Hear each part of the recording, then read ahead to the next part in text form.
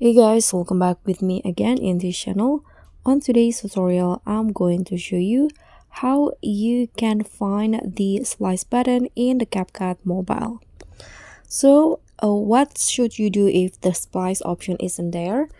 So if you guys want to see the splice button, first you need to add overlay because if you only add a video like this, there will be no splice button shown in the uh, menu here. You can see there's no splice.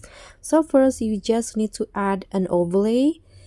I'm going to add, click on add overlay first then I'm going to let's say add this overlay right here. I think this. Click on the overlay. Click on add.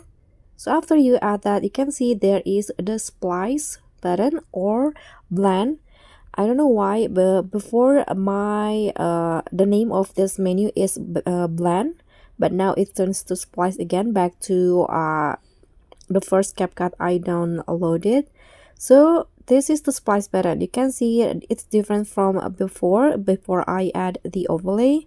So here you can just click on splice then select the mode that you want.